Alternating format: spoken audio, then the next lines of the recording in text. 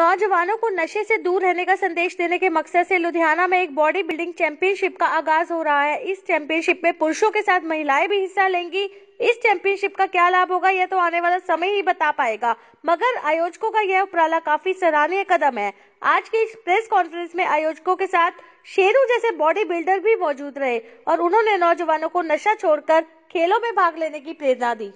ਇਹ 22 ਤਰੀਕ ਨੂੰ SCD college government college for boys 2 ਵਜੇ ਤੋਂ ਲੈ ਕੇ ਰਾਤੀ 8-9 ਵਜੇ ਤੱਕ ਕਰਾਇਆ ਜਾ ਰਿਹਾ ਹੈ। ਜਿਵੇਂ ਕਿ ਸਾਡੇ ਪ੍ਰਧਾਨ ਮੰਤਰੀ ਜੀ ਮੋਦੀ ਨੇ ਨਾਰਾ ਦਿੱਤਾ ਫਿਟ ਇੰਡੀਆ ਹਿਟ ਇੰਡੀਆ ਇਹ ਉਸ ਨਾਰੇ ਤੋਂ ਪ੍ਰੇਰਿਤ ਹੋ ਕੇ ਸਾਡੇ ਜੋਲੀ, ਸਾਡੀ ਟੀਮ ਜਿਹਦੇ ਚ ਗੁਰਵਿੰਦਰ ਸਿੰਘ ਜੋਲੀ ਜੀ, ਆਕਾਸ਼ ਦੇਵੀ ਜੀ, ਸਾਹਿਲ ਚੇਤਰੀ ਜੀ, ਬਲਕਰਨ ਬਾਜਵਾ ਜੀ ਤੇ ਸਾਡੇ ਜਿਹੜੇ ਇਹਦੇ ਨੈਸ਼ਨਲ ਪ੍ਰੈਜ਼ੀਡੈਂਟ ਨੇ, ਹਿੰਮਤ ਐਂਗਰਿਸ਼ ਜੀ ਉਹਨਾਂ ਦੀ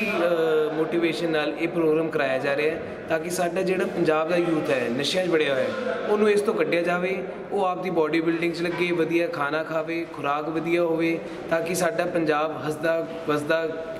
ਖੁਸ਼ ਪੰਜਾਬ ਸਭ ਤੋਂ ਵੱਡੀ ਪ੍ਰੋਬਲਮ ਪੰਜਾਬ 'ਚ ਆ ਵੀ ਹੈ, ਜਿਸ 'ਚ ਗਵਰਨਮੈਂਟ ਨੂੰ ਥੋੜੀ ਬਹੁਤ ਸਪੋਰਟ ਕਰਨੀ ਚਾਹੀਦੀ ਹੈ ਰੀਹੈਬਿਲਿਟੇਸ਼ਨ ਕਲੀਨਿਕ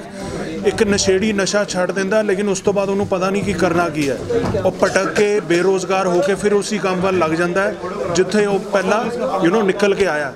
ਤਾਂ ਸਰਕਾਰ ਨੂੰ plus you know private organisation charitable organisation ਜਿਹੜੀ ਇਸ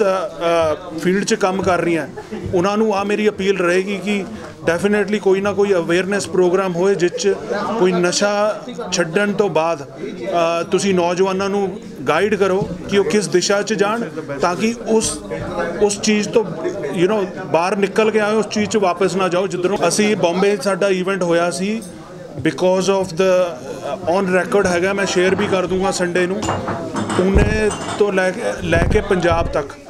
ਘੱਟੋ ਘੱਟ 10